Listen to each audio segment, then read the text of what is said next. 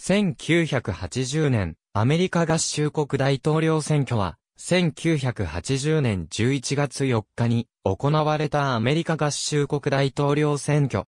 現職の民主党、ジミー・カーター大統領を共和党のロナルド・レーガン候補が破って当選した。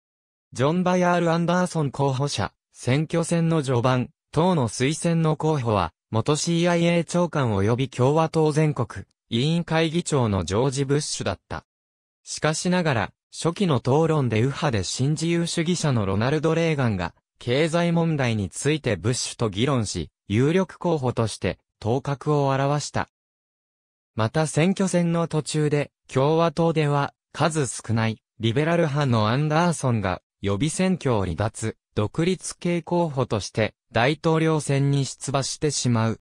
候補者、ジョン・ F・ ケネディ元大統領の弟のエドワード・ケネディは、1969年7月に起きたチャパキリック事件における倫理的責任と自己管理能力を問われ、カーターに敗れた。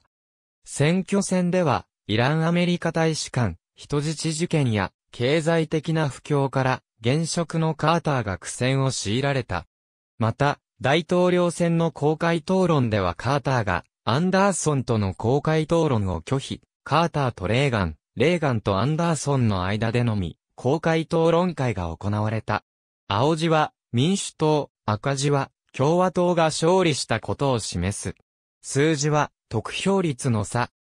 得票率差1%未満、マサチューセッツ州。0.15%テネシー州。0.29%アーカンソー州。0.61%得票率差5%未満、アラバマ州、1.30%ミシシッピ州、1.32%ケンタッキー州、1.46%サウスカロライナ州、1.53%ハワイ州、1.90%ノースカロライナ州、2.12%デラウェア州、2.33%ニューヨーク州、2.67%メリーランド州、